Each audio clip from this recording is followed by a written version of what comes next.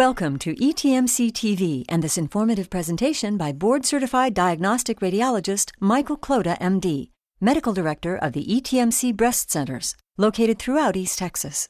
Dr. Klouda will discuss digital mammography and breast cancer. Thank you for choosing ETMC TV.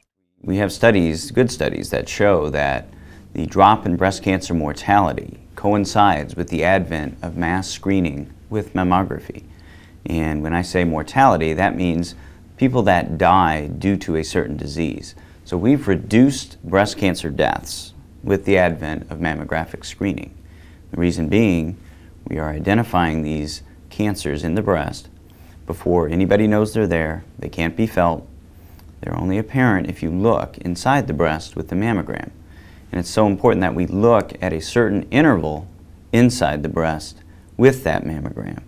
And studies have shown that optimal interval is 12 months or annually. If we wait to screen an individual longer than 12 months, say 18 or even every other year, 24 months, you lose that benefit of detecting breast cancer early. The truth be told, the vast majority of women that develop breast cancer do not have a family history for the disease. And so everybody needs to be screened. It is true there are certain higher risk populations that obviously need to be screened as well. But everybody over the age of 40, that is still the recommended time to start and the interval to have a mammogram. As a matter of fact, in our practice here in Smith County, approximately 18% or almost one in five of the cancers that we diagnose are in that 40 to 49 year old age range. So we would be missing a significant number of cancers if women waited till age 50 to get screened. The screening process is so important that we do that annually and in a continuous, consistent fashion because uh, a couple of reasons. Number one, if as a patient ages, their risk of breast cancer doesn't decrease, it actually increases with age. And therefore, your chances of developing breast cancer go up slightly every year. So that's one reason. Number two is it gives us that ability to pick up that subtle change that may occur within the breasts over a certain time frame. And sometimes that, that subtle change is so subtle that from one film to the next you can't perceive it. But if you've got that mammogram record that's an annual record, if you look back two years or three years or four years, you can suddenly see from this current study to three years ago, there's a definite change here.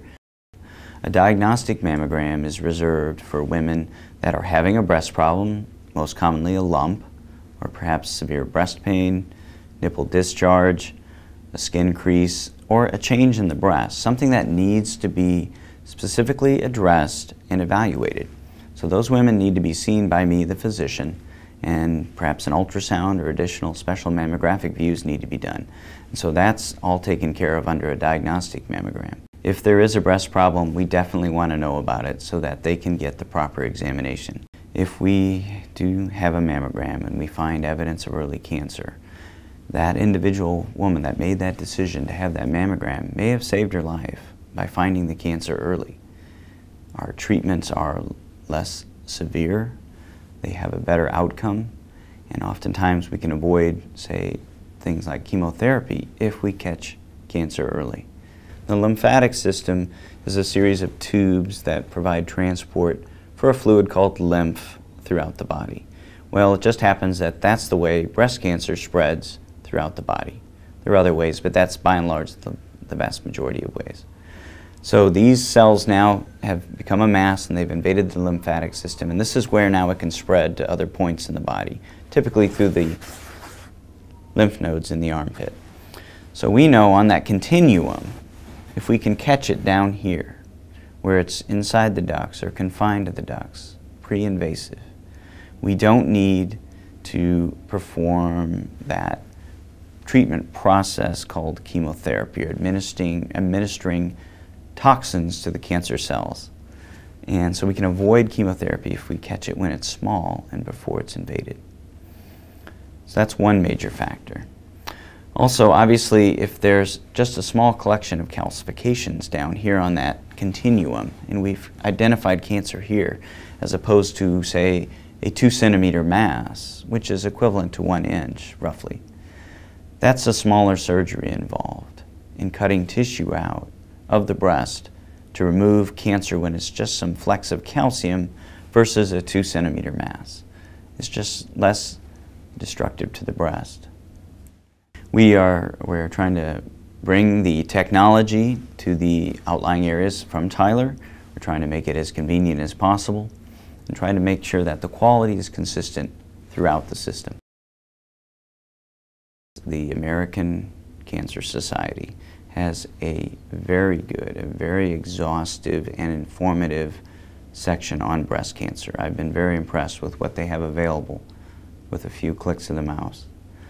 The American College of Radiology has a very good website. And if you would like to schedule a screening mammogram now, you can actually go to the ETMC website and schedule your mammogram over the web, and you'll receive an email confirmation that you've been scheduled. It'll give you the time, the place where to go, and instructions.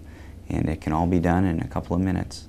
Dr. Klouda is a board certified diagnostic radiologist and medical director of the regional system of ETMC breast centers. His office is located at 700 Olympic Plaza, Suite 101 in Tyler, Texas.